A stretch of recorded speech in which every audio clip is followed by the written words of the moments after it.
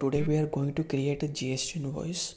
So just open your company file and just go to accounts. First we are going to create the customer account. Just click on the plus sign. I just write the customer name.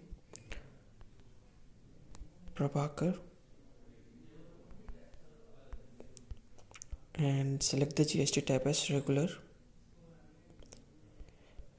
And mention the address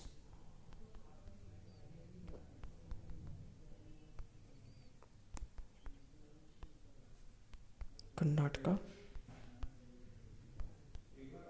And in a second address I just mentioned Bangalore.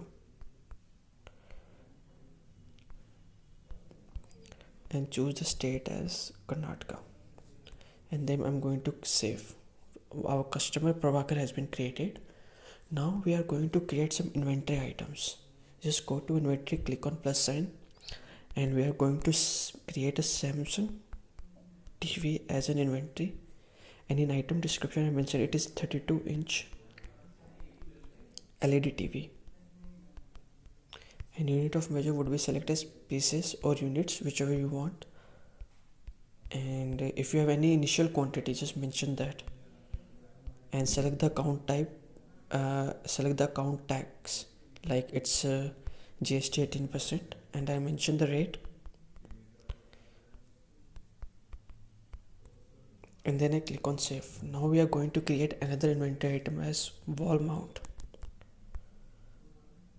Select the unit of measure as pieces. If you have any initial quantity you can write or leave it as blank and then select the tax account. I'll just select as 12% and mention the rate. And then I click on save and uh, we are going to create a services as well like installation charges.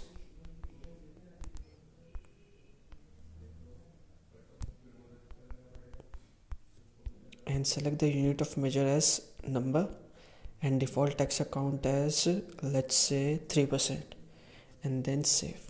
Now we have created two inventory item and one services. And now we are going to create an invoice.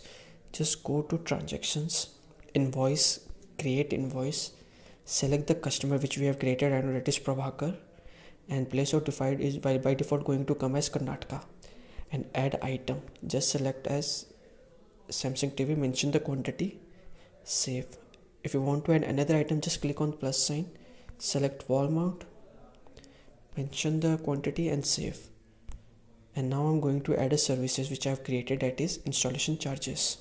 I mention the quantity 1 and rate let's say 530 save.